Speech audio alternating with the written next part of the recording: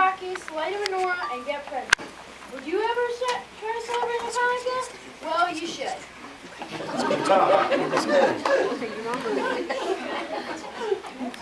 My family mainly celebrates it because of the history.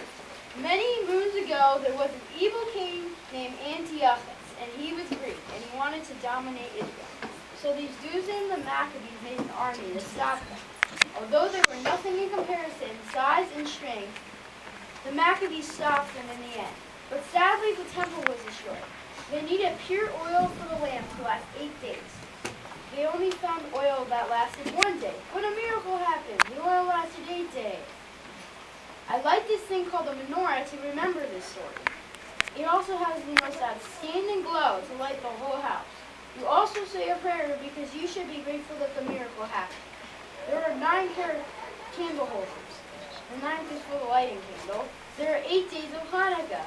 The presents can be from little race cars to Xbox 360. Eight days of presents! I play this game called Dreidel. Here's how it works. Dreidels are spinning tops that spin like little spinning pentagons.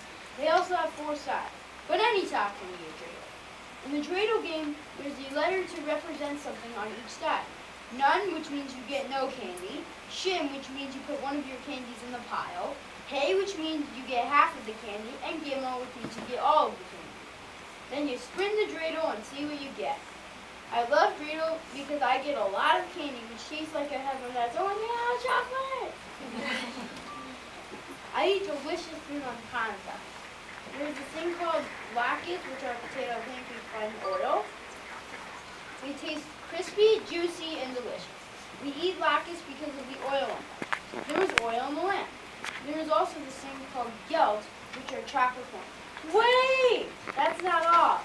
There are also donuts with delectable flavors. I hope you're hungry. I wonder if Hanukkah will change in the future.